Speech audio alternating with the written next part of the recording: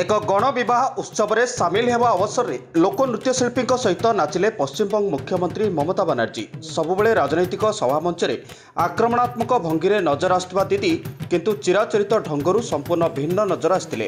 ମଞ୍ଚ ଉପରେ ନୃତ୍ୟ ପରିବେଷଣ କରୁଥିବା ନୃତ୍ୟଶିଳ୍ପୀଙ୍କ ସହିତ ତାଳ ମିଳାଇ ବେଶ କିଛି ସମୟ ଝୁମିଥିଲେ। ସବୁବେଳେ ଧଳା ଶାଢ଼ୀରେ ନଜର ଆସୁଥିବା ଦିଦି କିନ୍ତୁ ପିନ୍ଧିଥିଲେ ନୀଳ ରଙ୍ଗର ପାରମ୍ପରିକ ଶାଢ଼ୀ। ଦେଖନ୍ତୁ ଏହି ପୁରା ଭିଡ଼ିଓ।